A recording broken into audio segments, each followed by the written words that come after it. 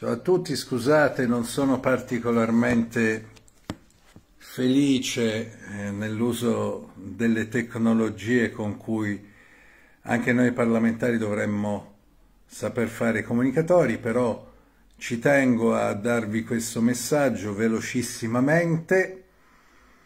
Oggi sono stato a Cetraro in occasione del Consiglio Comunale che si è svolto lì sul Tirreno Cosentino per riprovare, per stigmatizzare, per censurare quanto è avvenuto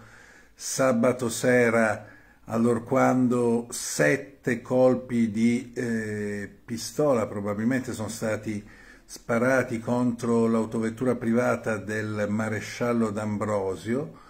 il maresciallo che guida la locale caserma dell'Arma dei Carabinieri, Cetraro è il paese in cui ha conquistato notorietà anche a livello nazionale Franco Muto, il cosiddetto re del pesce, definito tale perché controllava in maniera monopolistica e mafiosa, andranghetistica, il mercato appunto ittico di questa piccola ma un tempo ridente cittadina del Tirreno Cosentino ma eh, oggi sono stato anche impegnato a preparare il campo a qualcosa di straordinario, secondo me è straordinario,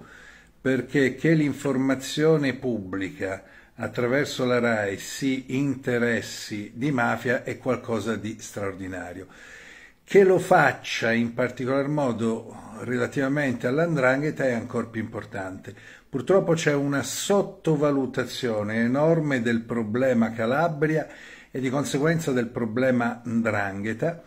Io pertanto invito tutti quanti voi e vi chiedo di estendere questo invito che il Presidente della Commissione antimafia vi sta facendo a tutte le vostre conoscenze, a tutti i vostri amici sui social, a um, dar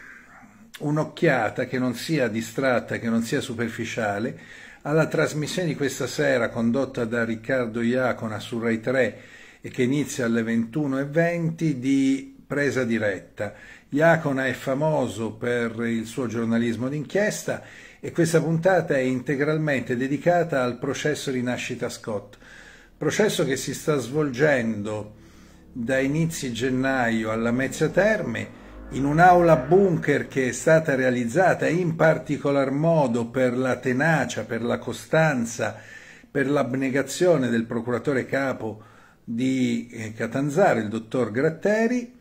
perché altrimenti c'era qualcuno che avrebbe voluto far celebrare il più importante processo contro l'andrangheta fuori dalla Calabria come se non fosse l'andrangheta un problema calabrese. Sì, è vero, è un problema di tutto il paese, ma innanzitutto è un problema delle Calabrie. Benissimo, c'è questa possibilità. Vi chiedo di seguire con attenzione questo programma, A, perché tutti quanti ne saremo arricchiti presumibilmente, perché sarà un programma di informazione diretta, parleranno alcuni dei protagonisti nel bene e nel male di questo dibattimento, ma poi perché rappresenterà un modo di conoscere una delle realtà mafiose più importanti al mondo, l'andrangheta calabrese, su cui ancora ben poco si sa perché ben poco si vuole sapere. Ehm, lasciatemi dire, il potere troppe volte ha stretto rapporti, rapporti d'amicizia con le organizzazioni mafiose e di conseguenza a tutela delle stesse evita che vi sia un'adeguata conoscenza delle consorterie mafiose.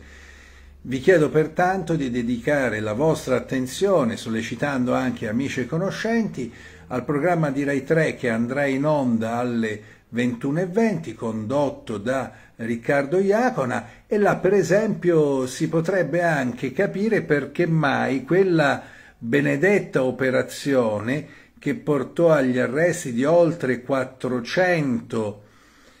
cristiani, di oltre 400 persone, fu anticipata al 19 dicembre del 2019,